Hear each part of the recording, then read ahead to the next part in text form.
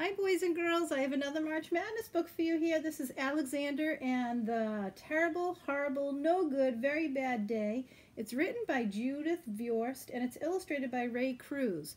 And Alex has a really bad day. This book was written in 1972. That was a really, really long time ago. All right, are you ready? Here we go. I went to sleep with gum in my mouth, and now there's gum in my hair. And when I got out of bed this morning, I tripped on the skateboard, and by mistake, I dropped my sweater in the sink while the water was running, and I could tell it was going to be a terrible, horrible, no good, very bad day.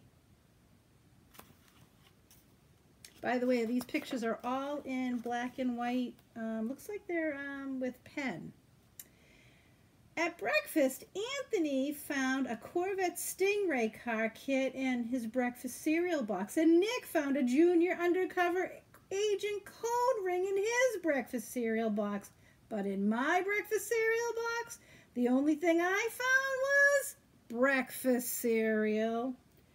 I think I'll move to Australia.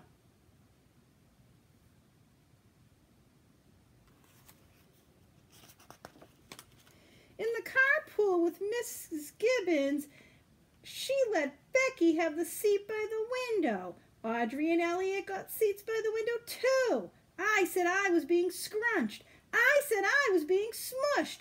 I said if I didn't get a seat by the window, I'm going to be car sick.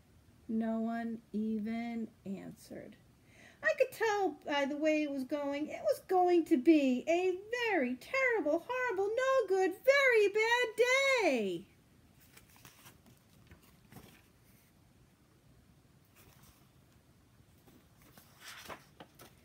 At school, Mrs. Dickens liked Paul's picture of the sailboat better than my picture of the invisible castle. At singing time, she said that I sang too loud. At counting time, she said that I left out number 16. Who needs 16? I could tell it was going to be a terrible, horrible, no good, very bad day.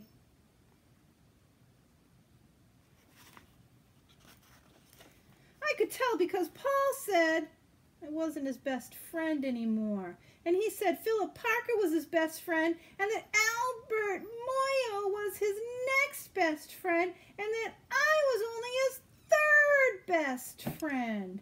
I hope you sit on a tack, I said to Paul. I hope the next time you get a double-decker strawberry ice cream cone, the ice cream pot falls off the cone and lands in Australia. I wonder if Alexander really means that.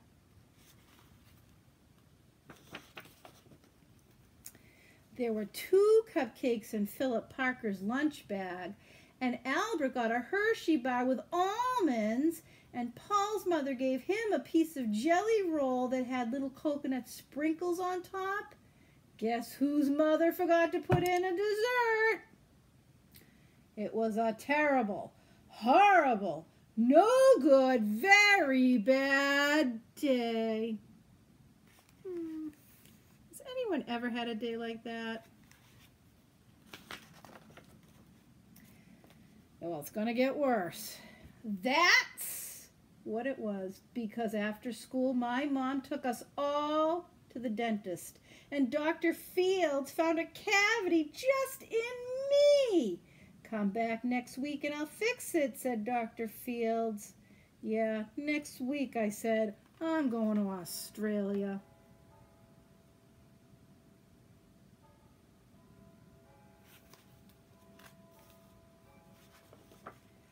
On the way downstairs, the elevator door closed on my foot, and while we were waiting for my mom to get the car, Anthony made me fall where it was muddy. And then, when I started crying because of the mud, Nick said I was a crybaby. And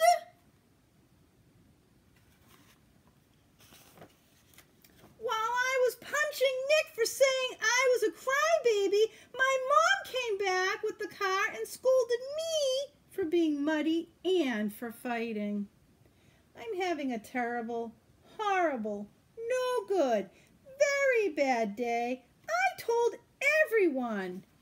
And no one answered me. Poor Alexander. So then we went to the shoe store to buy some sneakers. Anthony chose white ones with blue stripes. Nick chose red ones with white stripes. I chose blue ones with red stripes.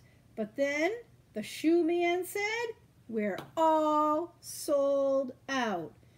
They made me buy a plain old pair of white ones, but they can't make me wear them.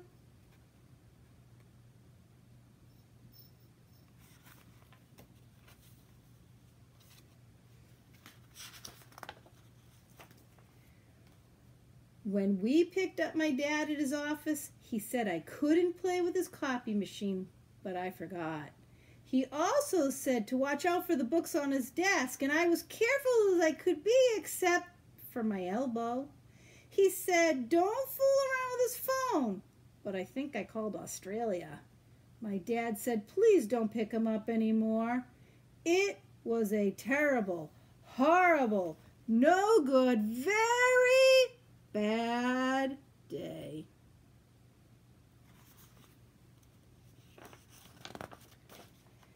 There were lima beans for dinner. I hate lima beans. There was kissing on TV. I hate kissing.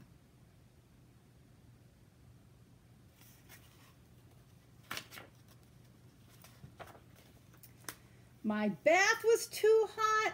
I got soap in my eyes. My marble went down the drain. And I had to wear my railroad train pajamas. Hate my railroad train pajamas. Poor Alexander. When I went to bed, Nick took back the pillow he said that I could keep. And then the Mickey Mouse light night light burned out and I bit my tongue. The cat wants to sleep with Anthony, not with me. It has been a terrible, horrible, no good, very bad day. My mom says some days are like that.